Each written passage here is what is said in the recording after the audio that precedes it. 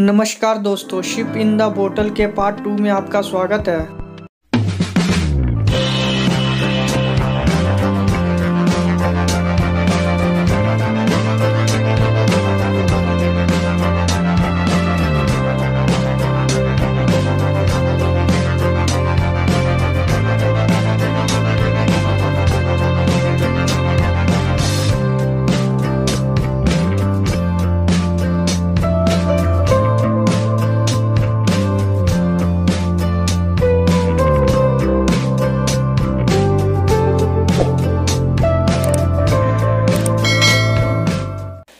Ship के पीछे एक पिन लगाएँ ताकि आप इसमें पाल का धागा बाँध सकें। अगर आपने इसका फ़र्स्ट पार्ट नहीं देखा है तो आई बटन पर क्लिक करके इसका फ़र्स्ट पार्ट ज़रूर देखें। अब हम प्लास्टिक के पाइप के लिए पाल बनाएँगे। पाल बनाने के लिए पहले कागज़ पे धागा चिपका लें ताकि पाइप में पाल बांधते समय कोई परेशानी ना हो।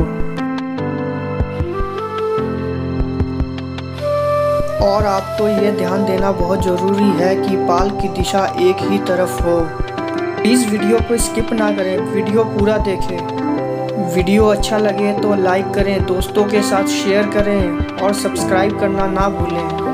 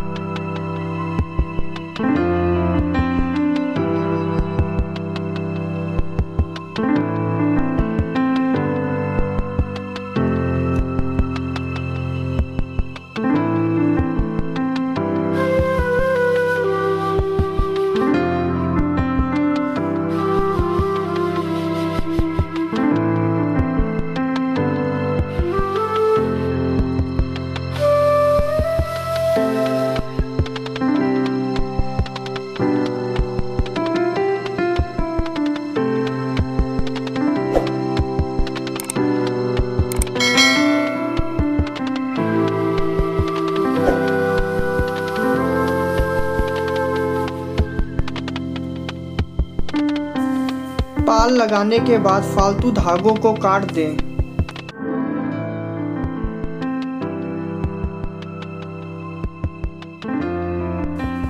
पिन में एक अलग से धागा बांधें और तीनों पालों को बांधते हुए धागा आगे की ओर ले जाएँ। यह धागा हम बाद में शिप के अगले भाग में बांधेंगे। धागा बांधने के बाद पाल आसानी से झुकना चाहिए।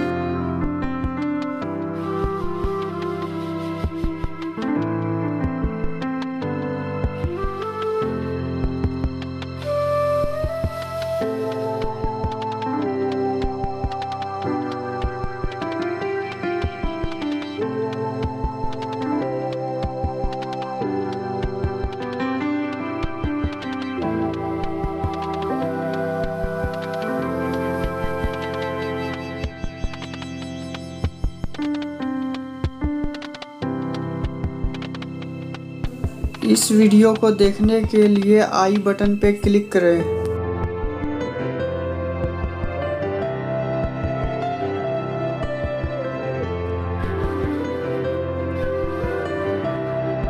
धागे को आगे की ओर ना बांधें। इसका हम बाद में इस्तेमाल करेंगे।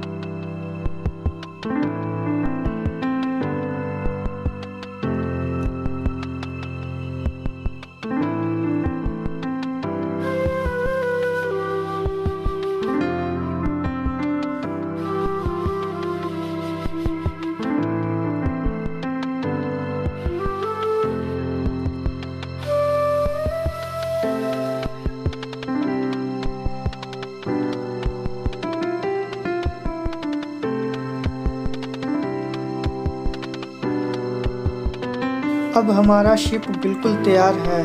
अब हम इसे एक बोतल में डालेंगे। शिप को बोतल में डालते समय बहुत सावधान रहें। बिल्कुल भी जल्दबाजी ना करें। नहीं तो ये शिप बोतल में डालते समय टूट सकती है। सारे पाल को एक साइड बड़ी ही सावधानी से दबाएँ और धीरे धीरे बोतल के अंदर डालें। अगर आपने इसका फ़र्स्ट पार्ट नहीं देखा है तो आई बटन पे क्लिक करके इसका फ़र्स्ट पार्ट ज़रूर देखें। वीडियो अच्छा लगे तो लाइक करें, दोस्तों के साथ शेयर करें और सब्सक्राइब करना ना भूलें।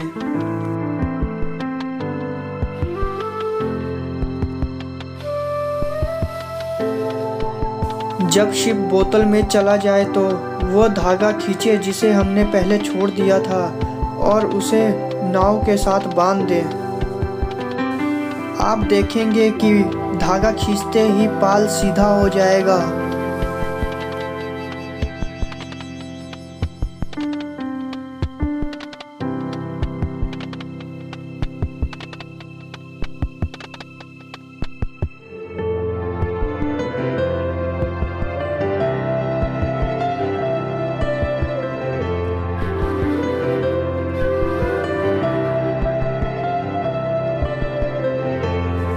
अब आप एक एल साइज़ की डंडी लें और सारे पाल को ठीक कर लें। इस काम को करने में थोड़ा समय लग सकता है, पर इस काम को पूरा करें, नहीं तो पाल देखने में सही नहीं लगेगा।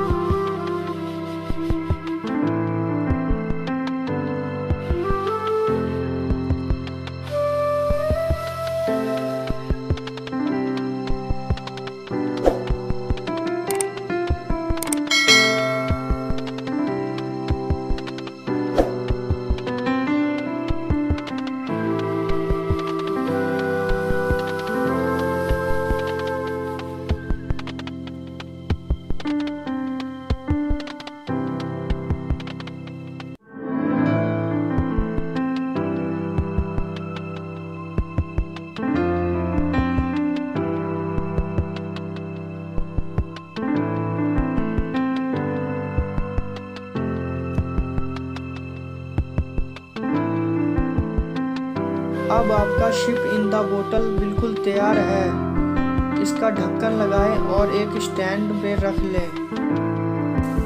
स्टैंड बनाने के लिए एक टेप रोल पे दो कर्व बना लें और इसको पेंट करके सजा लें।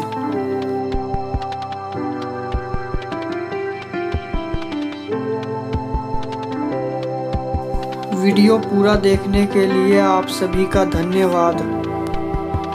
इसी तरह की और वीडियो देखने के लिए मेरे चैनल पे विज़िट करें। मेरे चैनल को सब्सक्राइब करें, शेयर करें और कमेंट करके ज़रूर बताएँ कि ये वीडियो आपको कैसा लगा।